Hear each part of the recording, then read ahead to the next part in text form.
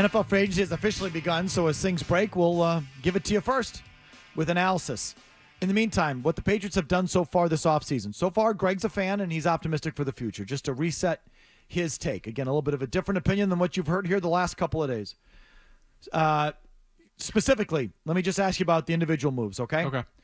Uh, and I'm just going to go in the order it's listed here. Maybe it's from most recent to the first. Either way, Anfernee Jennings returning, three years, 12 million. Thoughts? Uh, I like it. Um, good ascending player, played really well this year. I like that move. Uche, one year, three million. So um, I like it for the Patriots, and I, apparently, according to reports, he had his reasons for coming back here. That he, I do not believe that he turned down a big contract offer elsewhere to sign back here for one year and three million. I just don't believe that. No I- he would be the first player in the history of the NFL to make that choice at this point in his career. I just don't believe it. No way. That's a lie.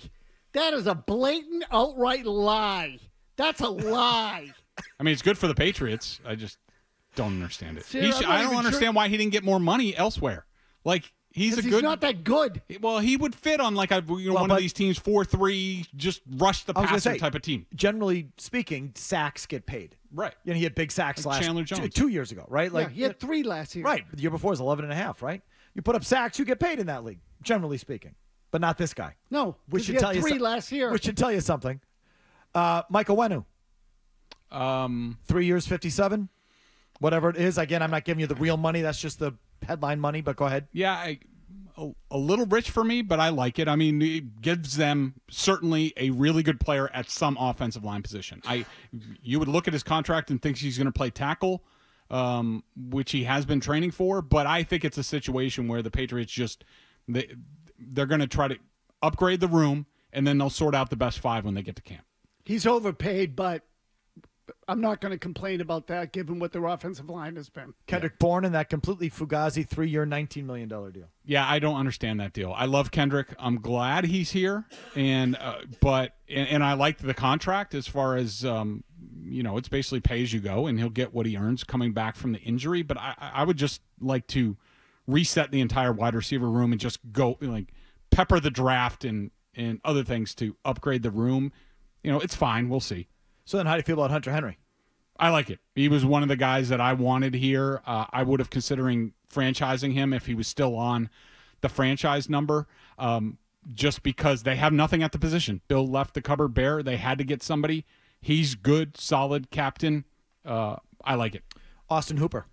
Like it. Uh, I've always liked Hooper. He's a good player. Has been in this system before. Um, a little bit of an upgrade over Pharaoh Brown. I would have been fine with Pharaoh Brown, uh, but Hooper's a good player. I liked Pharaoh Brown. Me too. Yeah. You know, uh, and what's interesting is I, I'd forgotten he also played in Cleveland with Brissett and Van Pelt. You know, Hooper played with, uh, or you know, played under Van Pelt somewhere. I can't remember. Might, might have also been Cleveland. Yeah, okay, so Yeah. Cleveland, but it's like, you know, Pharaoh Brown, and he was Pharaoh Brown was even a little cheaper, but Hooper probably projects as a better receiving option. I don't know. I like Pharaoh Brown. Uh, this Takitaki guy. like him. Uh, I'll- I, I've always liked him on film. He basically replaces Mack Wilson and gives them a coverage element at linebacker, a speedier coverage type, which they didn't really have. I don't think Mack Wilson was really good at that. He was more his forte was more rushing the passer. I think uh, Takitaki gives them more of a matchup coverage guy, which they have needed for a long time. Antonio Gibson. Uh, good player. I'm not going to go crazy about it. Uh, he, you know, he gives them a receiving option, can uh, win some matchups on the outside, a good wheel route type of player. Um, so he gives them a different element at running back, and I think that was needed. This is a serious question. It's going to sound like a wise ass question. I'm serious. Can he block? Yes, yes, Okay. very good blocker. Okorafor. Uh, good, solid player. Gives you an option. I think he's similar to, you know, the Calvin Anderson move. Now we never saw Calvin Anderson on the field because he had uh, physical issues. Um, but I think that uh, Okorafor is similar, can give you a lot of different options, and uh, has experience. And I think will upgrade the room. The release of Lawrence Guy. Uh, he could still play. I'll be interested to see where he went, where he goes. I, looking back on my numbers for this year, I was surprised at how he, how highly he ended up uh, graded in my system. I would have thought that he would have taken more of a step back, um, but I, I think it was a situation where he didn't want to be here anymore at the number he was at. He did, really didn't want to be here last year, and they just sort of moved on. Uh, J.C. Jackson released, but uh, reportedly today might still be in their plans going forward. If it's a minimum type of deal, deal where I can cut him at any point in turn, including in camp, I'm fine with it. Taking a flyer on him.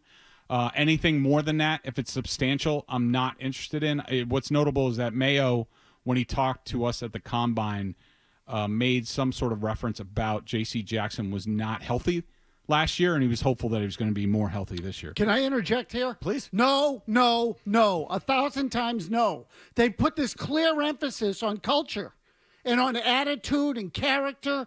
And J.C. Jackson quit on them last year. And he's got kind of a bad reputation in terms of work ethic and stuff like that. The whole thing in, in- with the Chargers was a. He's like the Trent Brown of cornerbacks. Yeah, I don't know. No, why are they even messing around? Well, it- no. it's it's funny when you're not making money anymore, how, in how many people get uh, uh, motivated to play. Sort of like Trent Brown with his one year here with Dante Scarnecchia, how But- good he was. But is the So- talent worth messing around with? no. Well, that's why it's got to be on short money. That you know, if he screws around, he he's not with the program. Boom, you're gone. Find someone else. No. Do you care about Adrian Phillips or Jalen Mills? No, Me neither. Mike Gesicki. no, goodbye. Oh, thank God he's gone. He sucked here. That was a terrible signing. I mean, not that they paid him that much money, but I bet you he'll be half decent with Burrow. DeVante Parker. Any shedding any good. tears ri- there? No, good riddance. Mack Wilson. Do you like him? Uh, I did. I was surprised at how uh, how far he came along. Credit to the coaching staff for developing him. I knew um, he really didn't want to come back here uh, initially, but um, things really worked out well for them last year. The, the one thing Bill still did okay uh, at was develop slowly developing those linebackers. Like like when Jahlani Tavai gets here, you're like, this dude is nothing. He's a special team, and then he's actually you notice him in the defense. He did it with Kyle Van Noy. He did it with Tav- Tavai, Mack uh, Mack Wilson. You know, it's a little something there.